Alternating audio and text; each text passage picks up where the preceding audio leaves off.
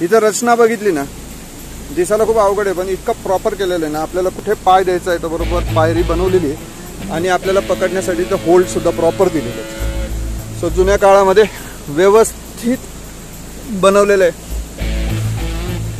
थोडीशी हिंमत दाखवली की नक्की आपण हे दिव्य पार करू शकतो याची खात्री मला.